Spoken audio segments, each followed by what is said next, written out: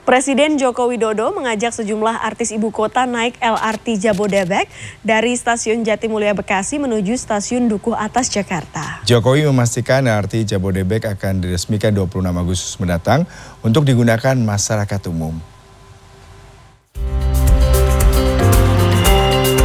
Bila pekan lalu, Presiden Joko Widodo mengecek kesiapan LRT Jabodebek dari stasiun LRT Harjamukti di Depok menuju stasiun LRT Dukuh Atas di Jakarta. Kali ini, Presiden mengecek kesiapan LRT dari stasiun Jatimulya Bekasi menuju stasiun Dukuh Atas Jakarta. Yang menarik, kali ini Jokowi mengajak sejumlah artis tanah air, seperti Chelsea Islan, Indi Barons, Cak Lontong, Ari Lasso, Yuni Syara, hingga Nirina Zubir untuk naik dan menjajal LRT bersama. Setelah menjajal LRT dari Bekasi ke Jakarta, Jokowi memastikan LRT Jabodebek siap untuk diresmikan dan digunakan oleh masyarakat pada akhir bulan Agustus ini. Para artis, ada Mas Ari Lasso, ada Mbak Yuni, Sarah, ada Desta, ada Nirina, ada Indi, ada Aurel, ada Ola, ada Sari, ada Widi, ada Lisilia, ada Pak Lukman, ada Cesi, apa? Kalau Cak Lontong nggak usah disebutkan.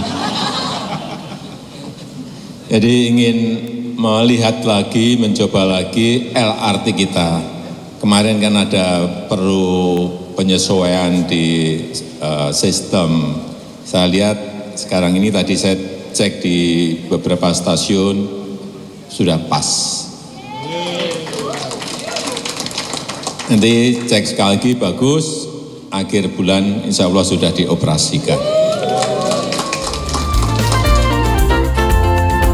Artis Indi Barons menilai moda transportasi LRT dapat menghemat waktu masyarakat untuk perjalanan.